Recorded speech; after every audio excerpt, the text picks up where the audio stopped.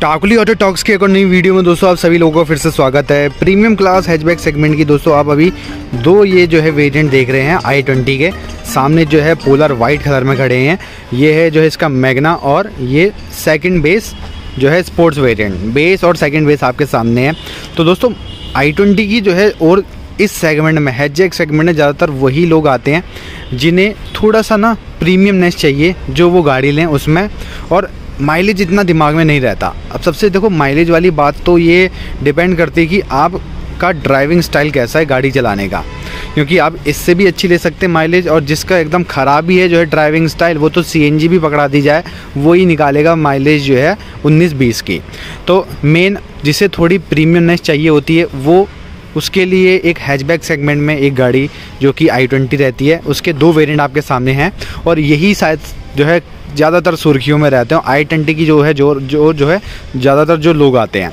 तो ये आप सामने देख रहे हैं। आज इन्हीं के बारे में फटाफट से जो है कंपैरिजन करेंगे मैगना और स्पोर्ट्स बेस और सेकंड बेस के बारे में। फटाफट से बात करते हैं।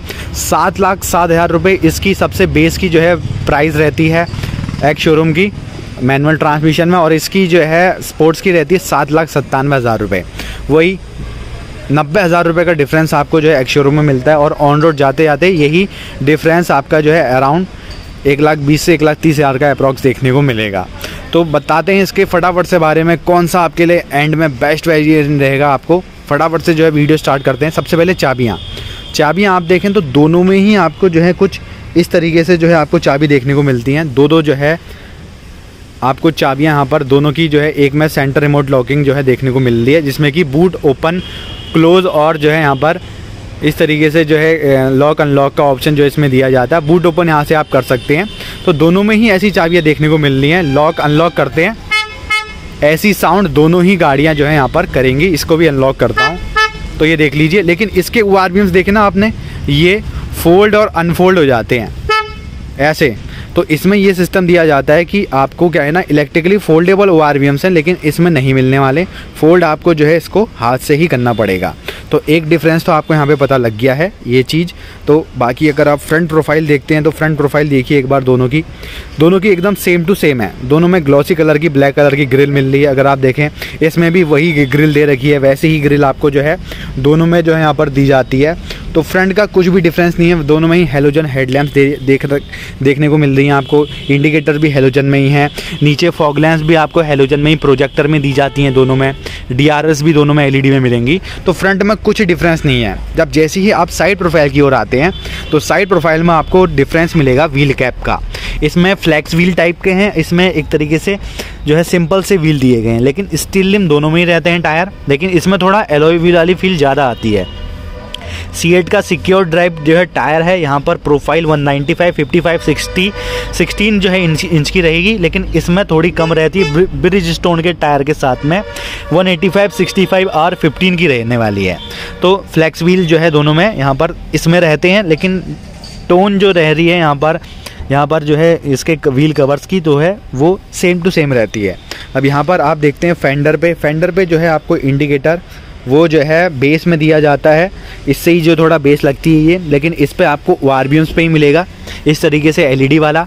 और बाकी इसके ओ आर जैसा कि मैंने बताया फोल्ड आपको ऐसे हाथ से ही जो है करने पड़ेंगे। और यहाँ से साइड बाय साइड देख लीजिए, यहाँ पर आपको जो क्रोम की स्ट्रिप है ना, ये आपको जो है इसके स्पोर्ट्स वेरिएंट में मिलती है। इसमें आपको एक ब्लैक साई दिया गया है पोर्शन अब रियर सेक्शन की ओर आते हैं तो रियर सेक्शन में आप देखेंगे, इसमें आपको वायर एंटीना मिल रहा है, इसमें आपको शार्कफिन एंटीना मिलेगा, इसमें आपको डिफॉगर मिल जाता है, इसमें आपको डिफॉगर नहीं मिलता है। हाई माउंटेड स्टॉप लैम्प दोनों में मिलती है। दोनों में है, आपको जो है, यहाँ पर रियर में लाइटें एकदम रियर टेल लैम्प की सेम लग रही होंगी, लेकिन इसमें जो है ना, ये रेड वाली जो है स्टॉप लैम्प ये हेलोजन में दी जाती है, इसमें एलईडी में मिलेगी प्रॉपर तो एलईडी टेल लैम्प्स इसमें आपको जो है यहाँ पर मिलना स्टार्ट हो जाती हैं। बाकी indicator as a same to same रहेंगे। रिवर्स पार्किंग सेंसर तो दो है, दोनों में मिलते हैं, लेकिन इसमें कैमरा भी मिल जाएगा। प्रॉपर आपको यहाँ पर दिया गया है, ये देख लीजिए कैमरा बाकी आपको ऐसा कुछ रियर सेक्शन का डिज़ाइन है।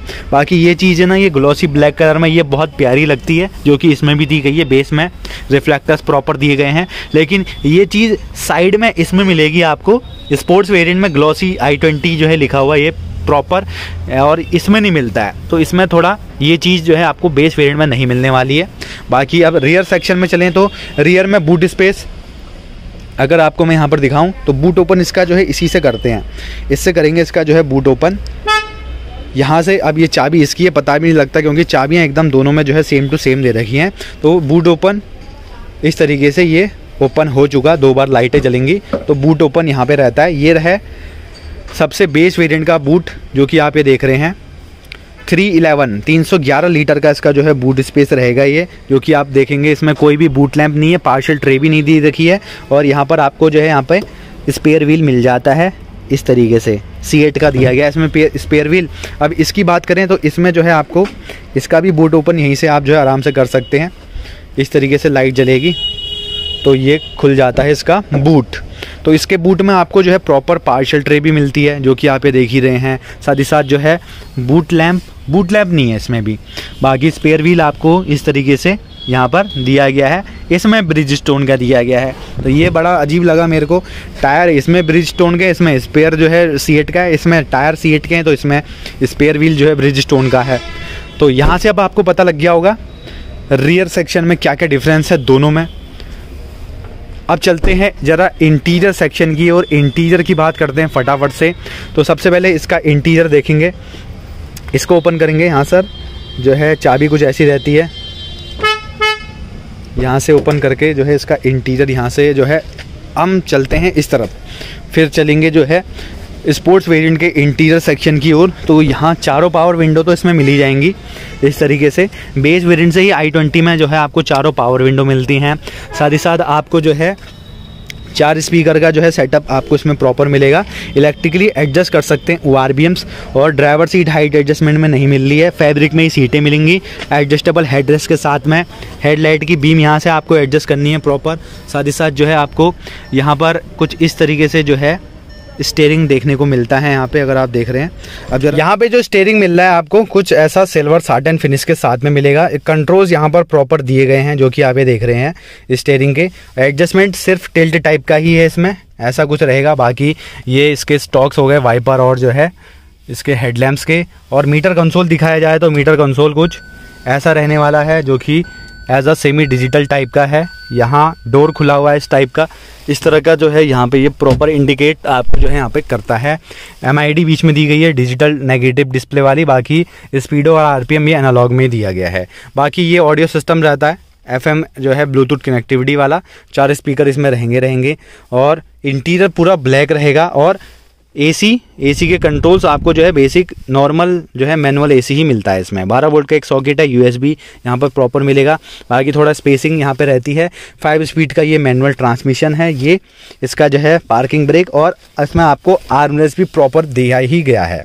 तो ऐसा रहता है पूरा इंटीरियर जो कि आपको पता लग गया होगा। ऊपर day night I R goggles holder भी बेस वेरियंट से ही हैं। ये भी बहुत अच्छी चीज़ है। सनवाइज़र पे वैनिटी मिरर ये भी है इसमें और ये सारी चीज़ें टिकट होल्डर के साथ में इसमें मिल जाती हैं। A B S C B D dual airbags आपको ये सारी चीज़ें इसमें आइसोपिक चाइल्ड सीट जो कॉमन सेफ्टी फीचर्स होते हैं, वो इसमें मिलेंगे ही मिलेंगे।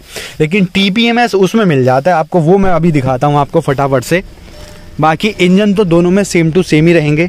1.2 लीटर के कापा, फोर सिलेंडर वाले पेट्रोल इंजन, जो कि अराउंड 83 जो है बीएचपी की पावर 113 113 न्यूटन मीटर टॉर्क के साथ में प्रोड्यूस करते हैं। तो इंजन का कोई डिफरेंस नहीं रहता, लेकिन फीचर्स जो मेन है ना, वो डिफरेंस जो है आपको इसमें देखने को मिलेंगे। अब चलें ज़रा स्पोर्ट्स वेरिएंट की ओर। तो यहाँ पे आपको जो है, ऐसे लॉक होती है और ऐसे अनलॉक करेंगे तो ओ से ऐसे जो है ओपन ऑटोमेटिकली जो है यहाँ पे हो जाते हैं। इसके, इसमें भी आपको चारों पावर विंडो मिलेंगी, लेकिन फोल्ड भी आप जो है यहाँ से मैनुअली ऐसा जो है आप जो है इसे सिर्फ़ प्रेस करके कर पाएँगे और यहाँ से अब आपको दिखाया जाए यहाँ पर पूरा इंटीरियर इसका। इसमें स्पोर्ट्स वेरिएंट में क्या है? सीट हाइट एडजस्टमेंट वाली भी आपको प्रॉपर दे दी जाती हैं। तो ये काफ़ी अच्छा रहता है और बाकी एडजस्टेबल हेडरेस्ट तो इसमें मिल ही रहे हैं यहाँ पे। हेडलाइट की बीम यहाँ से एडजस्ट करनी है आपको और साथ ही साथ ये इसके इंटीरियर में आएँगे जैसी आप तो यहाँ आपको मिल जाता है चार स्पीकर और दो ट्विटर रहेंगे, लेकिन क्रूज कंट्रोल भी दिया गया है। ये बहुत अच्छी चीज़ लगी इसमें। और ये देखिए, पूरा मीटर कंसोल। तो ये पूरा मीटर कंसोल आपको, डिजिटल आपको ऐसा मिलता है, जो कि बहुत ही प्रीमियम सा लगता है। और 8 इंच की स्क्रीन मिलेगी, इसके कंट्रोल यहाँ दिए गए हैं। स्टेयरिंग के एडजस्टमेंट की बात करें टिल्ट और सिर्फ़ टिल्ट टाइप है, टेलीस्कोपिक टाइप नहीं हो रहा है। बाकी ये ऑटोमेटिक इसमें जो है हेडलैम्प्स भी रहती हैं, यहाँ अगर आप देख रहे हैं, और वाइपर के कंट्रोल्स यहाँ मिलेंगे नॉर्मली तो यहाँ से आप जैसे एंटर हुए तो आपको पता लग गया होगा। एक्सटीरियर का तो मैंने बताया इंटीरियर का वहाँ से कंपेरिजन क्या मिल रहा है? एक तो फोल्डेबल ओ मिल रहे हैं इलेक्ट्रिकली सीट हाइट जो है ड्राइवर वाली एडजस्ट हो जाती है। स्टेयरिंग पे जो है ये क्रूज कंट्रोल मिल रहा है, और टीपीएमएस भी मिलेगा। प्रॉपर ये देखिए, ये टीपीएमएस जो है आपको कुछ इस तरीके से जो है इसमें देखने को मिलता है। यहाँ से आप देखेंगे, यहाँ से ये टायर प्रेशर मॉनिटरिंग सिस्टम। तो वो चीज़ इसमें जो है नहीं दी जा रही थी, जो कि इसमें मिलेगी मिलेगी। और इस तरीके से राउंडेड आपको स्टेयरिंग है। और ये रहती है एट इंच की स्क्रीन जो कि यहाँ पे देख रहे हैं एंड्रॉइड ऑटो एप्पल कारप्ले के साथ में ये आएगी आएगी। और बैक कैमरे की क्वालिटी कुछ ऐसी रहने वाली है इसमें, ऐसा बैक कैमरा भी इसमें प्रॉपर दिया जाता है। बाकी automatic climate control automatic AC भी मिलेगा इसमें, बारह बोल्ट का सॉकेट यूएसबी ये सारी चीज़ें इसमें दी जाती हैं कुछ उसी तरीके से। लेकिन यहाँ एट इंच की स्क्रीन एड ऑन हो जाती है ऑटोमेटिक एसी एड ऑन हो जाता है। बाकी ये पार्किंग ब्रेक ये सारी चीज़ें बेसिक वैसी मिल रही हैं। आर्मरेस भी मिल रहा है, इसमें आपको डेना डायर भी, हम ये पुश गॉगल शोल्डर ये सारी चीज़ें बेसिक सी कुछ इस तरीके से यहाँ पर रहती रहती हैं, जो कि आप ये देख रहे हैं। तो यहाँ आपको पता लग गया होगा ये सारी चीज़ें टी पी एम एस मिलता है, इसमें पूरी डिजिटल इसका जो है मीटर कंसोल रहता है ऑटोमेटिक ऑटोमेटिक ए सी है और ग्लब बॉक्स का साइज़ कुछ ऐसा बेसिक सा ही इसमें देखने को मिल रहा है। तो ऐसा रहता है इसका पूरा इंटीरियर तो कंपैरिजन अब शायद मेरे हिसाब से आपको पता लग गया होगा। तो दोस्तों, यहाँ से अब शायद जो है क्लियर हो चुका होगा आई ट्वेंटी के जो दो वेरिएंट आते हैं नीचे के, मैगना और जो है यहाँ पर स्पोर्ट्स वेरिएंट इन दोनों में जो है कितने रुपए का अंतर है? नाइन्टी थाउज़ेंड का एक शोरूम में। और डिफरेंस क्या क्या है फीचर्स में, ये आपने यहाँ पे देख लिया होगा। स्पोर्ट्स वेरियंट में कुछ थोड़े फीचर्स ज़्यादा हैं, जिस हिसाब से उसकी प्राइस ज़्यादा है। तो अगर आप आई ही लेना चाह रहे हैं तो अगर बजट अच्छा खासा है, तब तो स्पोर्ट्स वेरिएंट की ओर जाइए, लेकिन थोड़ा सा टाइट है तो आप जो है सबसे बेस वेरिएंट भी ले सकते हैं। सारी चीज़ें मेनली जो है जो जो चाहिए इलेक्ट्रिकली फोल्डेबल ओ और जो है चारों पावर विंडो म्यूज़िक सिस्टम ये सारा कुछ इसमें मिल ही जा रहा है। और बाकी अब आगे चल के आप जानते ही हैं 2023 जो आने वाला है प्राइस बढ़ेंगी तो फ़िलहाल अगर अभी ही पसंद आ रही है गाड़ी तो आप अभी बुक करवा सकते हैं। ऑफ़र भी अच्छे खासे मिल जाएँगे ईयर एंड में तो मिलते हैं और ऐसी नई वीडियो के साथ में।